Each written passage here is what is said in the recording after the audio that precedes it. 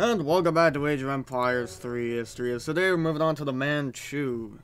History. The Manchu people overthrew the Ming Dynasty in the middle of the 17th century.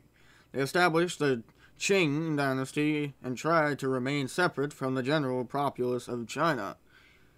They had been a nomadic people once, riding and fighting from horseback and tending crops and herds. The Qing Dynasty ruled China for about 300 years. Manchurian soldiers and warriors fought with recurved bows, swords, lances, halberds, and even their bare hands. They wore heavy robes that hung to the knee, allowing free movement on foot and horseback.